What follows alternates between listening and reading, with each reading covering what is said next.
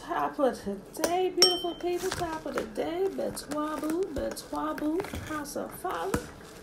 I'm House of the Father, you House of the Father. Betwabu, Bet-El, Bethel, the house of El El Limo Elohim. Same thing. We're talking about the same God, same Yah. Betwabu, Betwabu. All right, beautiful people. It is the first day of the new year. We are in 2020. 2020. I remember we were still in high school. We used to think when we got to the year 2020, actually, matter of fact, we used to think when we got to the year 2000, we would have flying cars and stuff. Granted, they got some, but it's not the normal thing. You know, you got maybe one here, one there, and they ain't released it to the general public. They still doing stuff sicker. But we still driving around here in cars like we were the last 80,000 something years. However long we've been driving cars, we're still driving cars. All right. Today, we keep going. We're in Leviticus 10, 11, and 12. Like I said, it is Wednesday, January the 1st, 2020, day 34 of year two of us reading through the books of instruction and the prophets. All right, so let's go ahead and get started here straight away. Leviticus chapter 10. And Nadab and Abihu, the sons of Aaron, took either of them his censer and put fire therein, and put incense thereon, and offered strange fire before Yahuwah, which he commanded them not. And there went out fire from Yahuwah and devoured them, and they died before Yahuwah. The master said unto Aaron, This is it that Yahuwah spake, saying, I will be sanctified in them that come nigh me and before all the people I will be glorified. And Aaron held his peace. I mean, you, you just seen your sons get burnt up, going in there offering strange fire, going there thinking just because you've been anointed priest or to the Levitical priesthood, you can go Levitical priesthood, you can go in here and do whatever you want to do. Yeah, go ahead and grab some of this fire up in here. Yeah, the next thing you know, you dead. Aaron probably was like, like it probably happened so fast. It's like, bruh, you tried it. Like he said, Yahuwah has commanded the thing to be according to this way. And it said, and Aaron held his peace. He better have held his peace. Okay. Then Massa and Aaron said, I'm going to read that again. I'm reading it again, y'all. Verse 3. I know I just read it, but I'm reading it again. The Massa and Aaron, then Massa said unto Aaron, This is that the, I'm sorry. I'm trying to read too fast. Okay. Then Master said unto Aaron, This is that that Yahuwah spake, saying, I will be sanctified in them that come nigh me, and before all the people I will be glorified. And Aaron held his peace. So it was Moses or Master that said it, and Aaron had held his peace.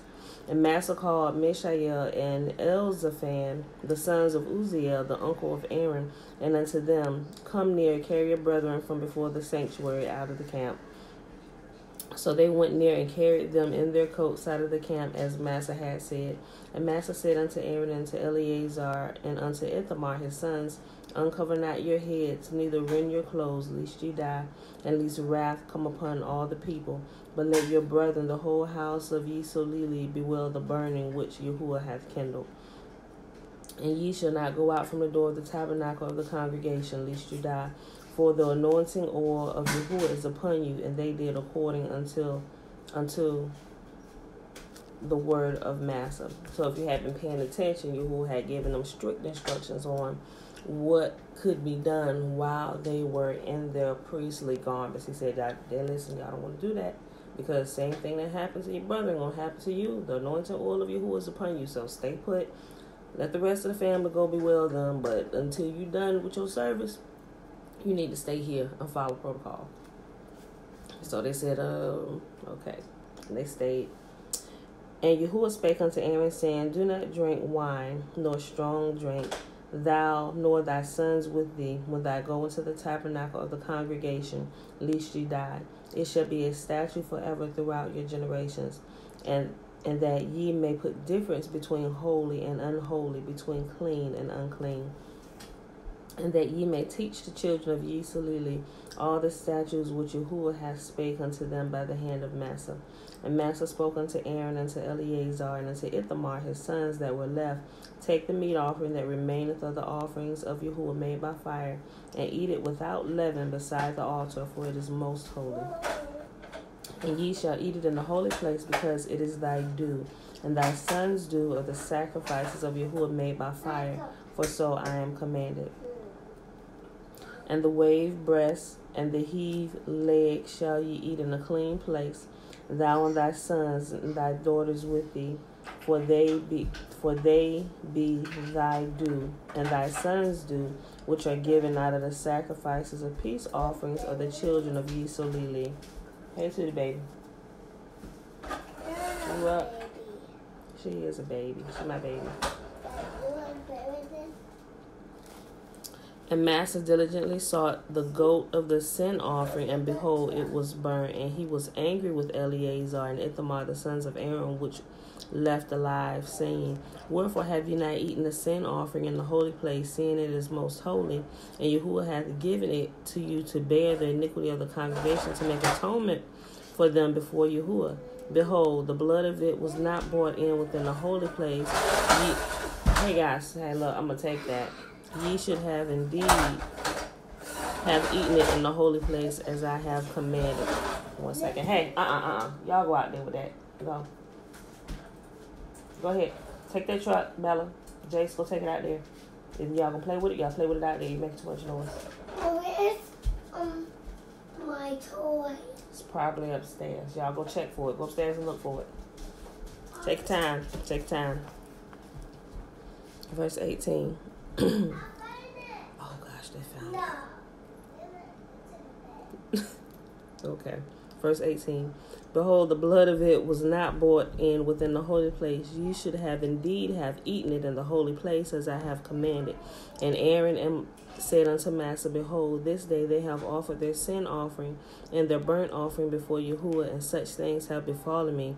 And if I had eaten the sin offering today, should it have been accepted in the sight of Yahuwah? And when Massa heard that, he was content. Because remember, you, you can't leave it overnight. Chapter 11 of Leviticus. and Massa spake, I'm sorry, and Yahuwah spake unto Massa and to Aaron, saying unto them, Speak unto the children of Yisulili, saying, These are the beasts which ye shall eat among all the beasts that are on the earth. Whatsoever parteth the hoof, and is cloven footed, and cheweth the cud among the beasts, that shall ye eat. Nevertheless, these shall ye not eat of them that chew the cud, or of them that divideth the hoof, as the camel, because he cheweth the cud, but divideth not the hoof, he is unclean unto you. And the coney, because he cheweth the cud, but divideth not the hoof, he is unclean unto you. And the hare, because he cheweth the cud, but divideth not the hoof, he is unclean unto you. And the swine, though he divideth the hoof, and be cloven footed, yet he cheweth not the cud, he is unclean to you. Of their flesh, of their flesh Ye shall not eat, and their carcasses shall ye not touch. They are unclean to you. These shall ye eat of them that are in the waters. Whatsoever hath fins and scales in the water, in the seas and in the rivers, them shall ye eat. And all that have not fins and scales in the seas and in the rivers, of all that move in the waters, and of any living thing which is in the waters, they shall be an abomination unto you. Like catfish. Catfish is unclean. I mean, it's a whole bunch, but I just chose it because it was the first thing. i And as soon as I found out catfish was unclean, I stopped eating it. I'm just like, oh, bruh, Father, forgive me. We've been eating abominable things. I mean, granted, I was eating pork too, but when I found out, I stopped eating it, you know. it's been a while since I had some pork. I mean, it's been years. Okay. Verse 11 They shall be even an abomination unto you. Ye shall not eat their flesh, but ye shall have their carcasses in abomination. Whatsoever hath no fins nor scales in the waters, that shall be an abomination unto you. And these are they which ye shall have in an abomination among the fowls. They shall not be eaten, they are an abomination the eagle, the ossifrage, and the os- osprey, and the vulture, and the kite after his kind, every raven after his kind and the owl, and the night hawk, and the cuckoo, and the hawk after his kind, and the little owl, and the cormorant, and the great owl, and the swan, and the pelican, and the gier eagle, and the stork, and the heron after her kind, and the lapwing, and the bat. All the fowls that creep going upon all fours shall be an abomination unto you. Yet these may ye eat of every flying, creeping thing that goes upon all four, which have legs above their feet to leap withal upon the earth. Even these, them ye may eat. The locust after his kind, and the bald locust after his kind, and the beetle after his kind, and the grasshopper after his kind. But all other flying, creeping things which have four feet shall be an abomination unto you. And as for these, shall and for these ye shall be unclean. Whosoever touches touches the carcass of them shall be unclean until the even, until the evening. And whosoever beareth aught of the carcass of them shall wash his clothes and be unclean until the evening. The carcass of every beast which divideth the hoof and is not cloven footed, nor cheweth the cud, are unclean unto you. Every one that touch them shall be unclean. And whatsoever goeth upon his paws, cats, dogs, any um of my uh oriental people watching. If it got paws, you ain't supposed to be eating it. Among all and whatsoever verse twenty seven, and whatsoever goeth upon his paws among all manner of beasts that go on all fours, those are unclean unto you. Whosoever touches their carcass shall be unclean until the evening. And he that beareth the carcass carcass of them shall wash his clothes and be unclean until the evening. They are unclean unto you. These also shall be unclean unto you among the creeping things that creep upon the earth, the weasel and the mouse and the tortoise after his kind. You know, it's a it's a um, it's a verse here. It's an um it's in Isaiah. Every time I read it, I crack up laughing. It's not funny, but I just thought about it when it was talking about the mouse and the tortoise. It talks about in the day of judgment, you know, the um they call it like the day of Yah, the day of the Lord, or the like the second coming, but it's not the second coming. I don't know where that term came from really. It's but anyway, the scripture says that for those, he said, those are my people who, I mean, I'm summing it up. He said, those are my people who practice righteousness, but they sit behind the, what is it? They sit behind a tree like eating swine is just like them eating the mouse. He said, I'm going to get them too. You know, so every, when I read it, you can read it in different versions, and I just crack up with every verse because essentially it's talking about people that's like, they're acting like they're living a lifestyle of holiness, but in their private time they're doing all kind of abominable things, whether they're eating swine or they're eating mice or, or whatever, whatever it is, or it could be an action or something that they're doing. He said, You're not he said, I see you. He said, You be hiding behind your He said, I see you. I'm gonna get you just like I'm gonna get the sinner. You know, so I mean it's not funny it's it's a sobering statement, you know, and it make you want to double check your life and consider your ways and make sure, you know, I ain't saying nobody perfect, but you can be. You can strive to be perfect. You can live a life consciously without sin. Not saying that you're not going to make a mistake, but you can live a life where you don't purposely set out to sin every day. Now, you may make a mistake. Oh, I'm sorry, sister, brother, or whoever at work. You may do something, or something happens and anger catches you off guard. You know, I'm not talking about those type of things because you can, you know, and if your heart is to do what's right, we normally quickly make amends. I'm sorry, I didn't mean to do that, or we may have to think about it for a day we have to go back and apologize.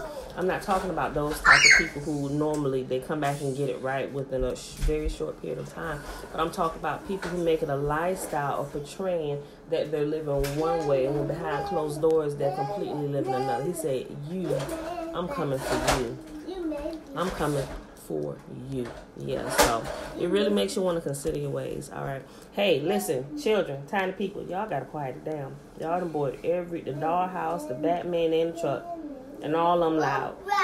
Yeah, you gotta chill out, okay? I'm almost done. All right. Verse 30. And the ferret and the chameleon and the lizard and the snail and the mole, these are unclean to you among all that creep. Whosoever doth touch them, when they be dead, shall be unclean until the evening. Even upon whatsoever any of them, when they are dead, doth fall. Hey, hey, hey, hey, hey, hey. Hey, hey, Cookie. Yes. Okay, baby. What did that mean? Okay, listen, y'all. It's more than enough toys right there. um, car. Okay, go get your car. Go get your car. Quit stomping, heavy foot. And upon whatsoever any of them, when they are dead, doth fall, it shall be unclean, whether it be any vessel of wood or raiment, or skin or sack, whatsoever vessel it be in, wherein any work is done, it must be put into water, and it shall be unclean until the evening, so it shall be cleansed. And every earthen vessel whereinto any of them that falleth, whatsoever it is in, shall be unclean, and you shall break it. Yes, Yeah, baby. I'm dark in there. But TT is in there, so it's not that dark. Just cut on cut on the bathroom light and open the door so you can see. Turn on the light in the bathroom, open up the door all the way, it'll give you light over there to the toy chest. Um, it's a um, toy set. Okay, well you and Jason go together. Go together. Go by twos. Two. Two y'all go. Y'all can watch out for each other. Watch each other's back. But there is something.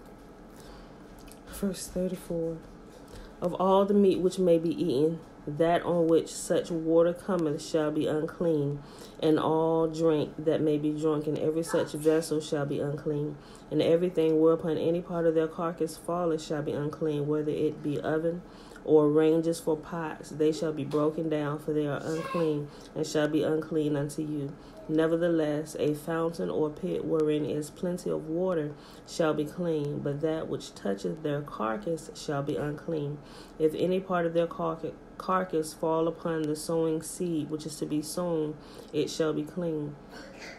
But if any water be put upon the seed, any part of their carcass falleth thereon, it shall be unclean unto you. If any beast of which ye may eat die, he that toucheth the carcass thereof shall be unclean until the evening. And he that eateth of the carcass of it shall wash his clothes and be unclean until the evening. He also that beareth the carcass of it shall wash his clothes and be unclean until the evening. And every creeping thing that creepeth upon the earth shall be an abomination, it shall not be eaten. Whatsoever goeth upon his belly, whatsoever goeth upon all four, or whatsoever hath more feet among all creeping things that creep upon the earth, them shall ye not eat, for they are an abomination. And we know people eat all this stuff he say not to eat. He said, but for his people that are set apart, he said, look, y'all can't do any of this stuff. He said, this is nasty. It's an abomination. He said, the other nations may do it, but you are not to follow their ways. Listen, my people, this is this how we roll, okay? Here are the instructions. If you're not sure, just go back and check. Ye shall not make yourselves abominable with any creeping thing that creepeth, neither shall ye make yourselves unclean with them, that ye should be defiled thereby. For I am Yahuwah, your God. Ye, ye shall therefore sanctify yourselves, and ye shall be holy, for I am holy. Neither shall ye defile yourselves with any manner of creeping thing that creepeth upon the earth, for I am Yahuwah that bringeth you up out, of the land of Egypt to be your God. Ye shall therefore, excuse me, be holy, for I am holy.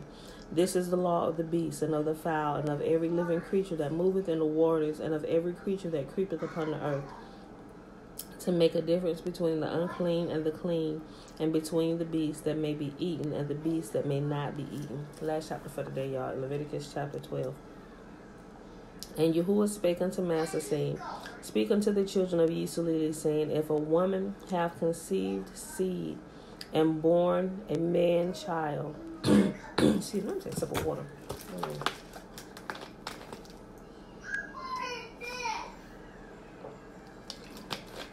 Hmm. Okay, sorry.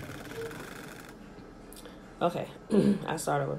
And Yahuwah spake unto Master, saying, Speak unto the children of Yisrael, saying, If a woman have conceived seed and bore a man child, then she shall be unclean seven days. According to the days of separation, for her infirmity shall she be unclean.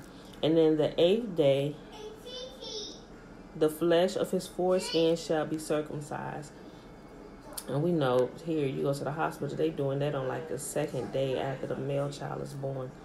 And she shall then continue in the blood of her purifying three and thirty days or thirty three days. She shall touch no hallowed thing or no holy thing, nor come into the sanctuary till the days of her purifying be fulfilled. But if she bear a maid child or a female child, Then she shall be unclean two weeks, as in her separation, and she shall continue in the blood of her purifying three score and six days, or thirty six days.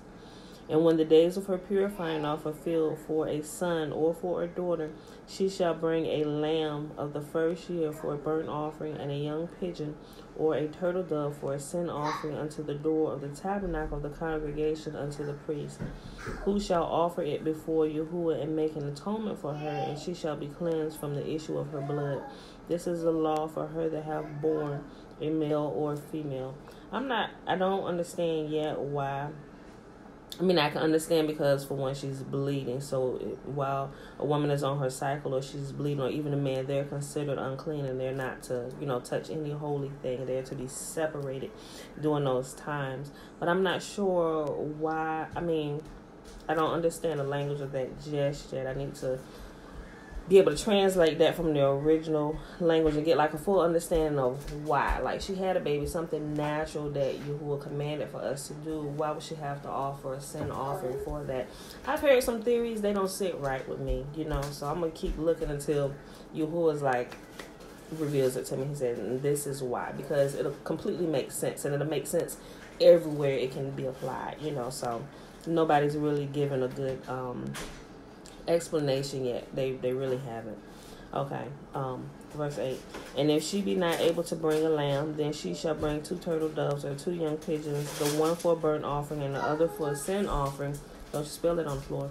And the priest shall make an atonement for her, and she shall be clean. And that is our reading for today. They starting to get into stuff. Tootie. Hold on, I got you. All right, beautiful people, I gotta go. They into everything already.